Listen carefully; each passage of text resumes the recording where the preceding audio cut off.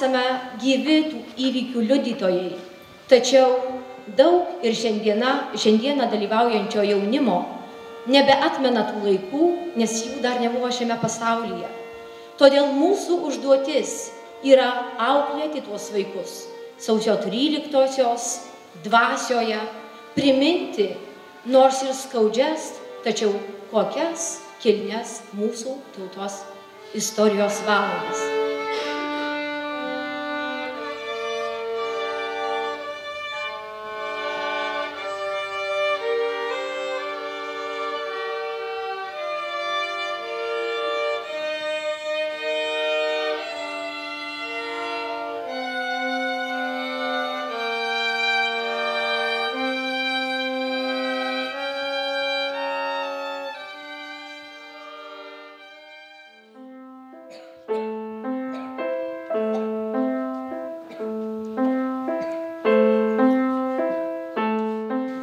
Sausio 13-osios naktį Lietuvo žmonių širdyse ir mintyse plakė vienas ritmas.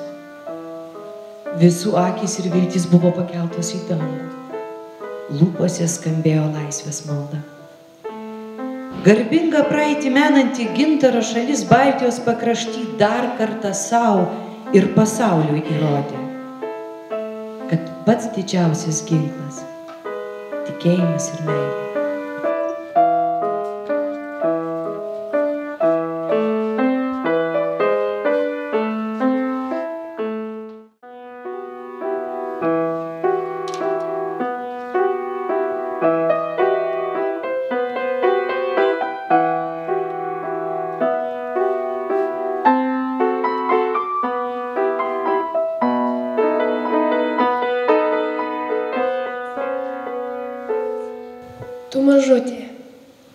Tu telpi visai čiurlionio karalių delnus.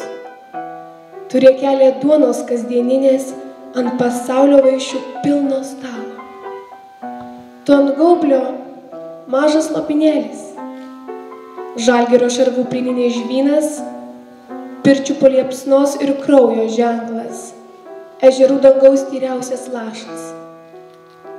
Žalias rytas ant pilkų arimų spindulių lietus aikštės erdvėj, tu ant gaublio padumavęs gintaras su pušies kvapu ir kraujo atšvaitu. Tik tai mūsų meilė, tu didžiulė. Mūsų delnuose tu nesudeginam. Mūsų ilgesį brangiausia pasaka. Mūsų akise tu saulės kraštas.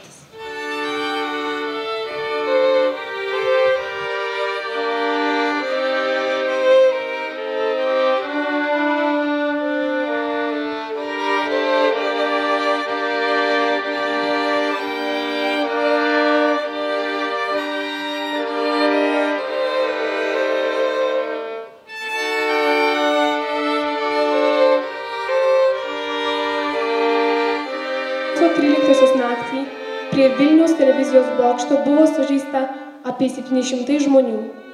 14 jų žuvo. Tai Loreta Sanavičiūtė, Virginijus Druskis,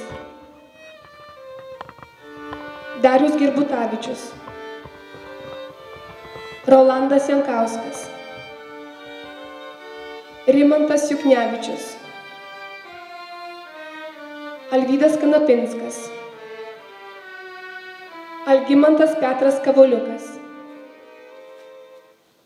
Vidas Maciulevičius, Titas Masiulis, Alvydas Matulka,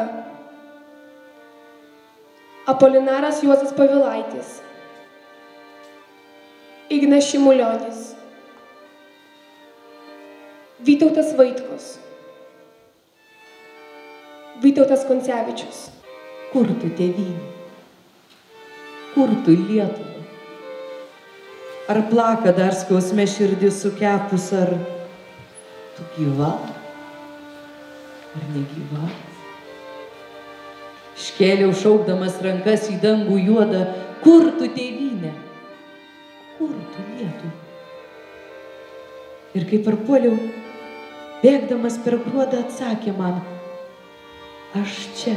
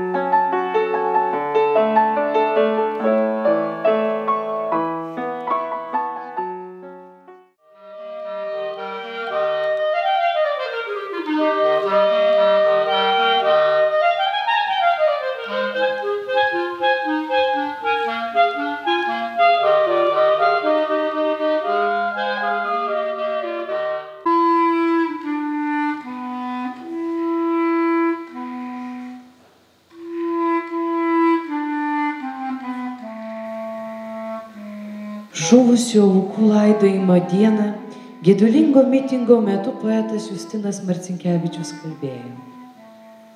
Prieš daugelį metų čia stovėjo didžiojo kunigaikščio Vytauto karstas. Dabar čia guli mūsų vaikai ir mes apraudame jų žūtį, suprasdami, kad jie jau priklauso istorijai. Kad jie dabar šildosi sužvarbusias rankas prie amžinosios ugnies kartu su didžiaisiais mūsų tautos vyrais. Lietuva pasilinkė prie jų ir užkloja juos amžiną laisvę. Tai pirmieji tikri laisvi Lietuvos Respublikos pirmi, piliečiai ir pirmosios mūsų nepriklausomybės aukos.